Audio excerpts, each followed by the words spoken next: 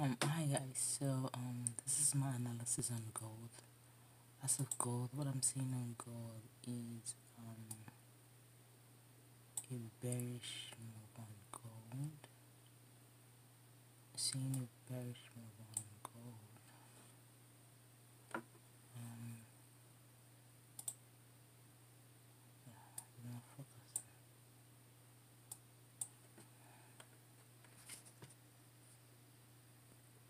Okay, I focusing.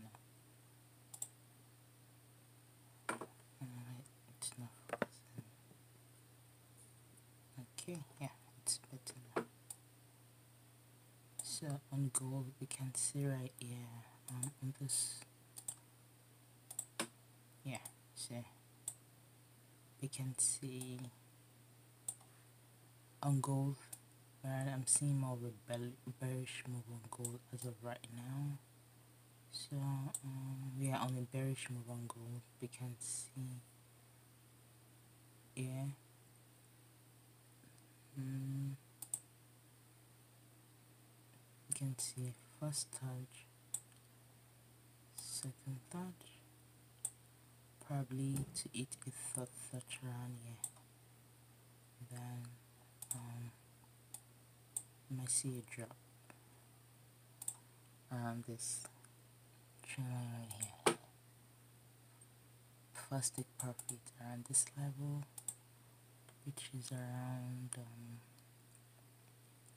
1845 and second take profit around this trend line right here. Yeah this trend right here which is around um,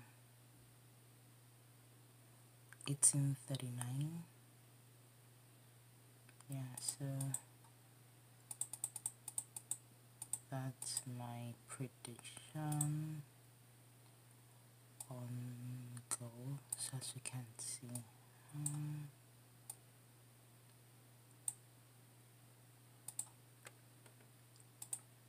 so I'm expecting gold to at least get to my negative 61.8 level right here of my fib which also eats um, this trend line and is significant zone from this box right here.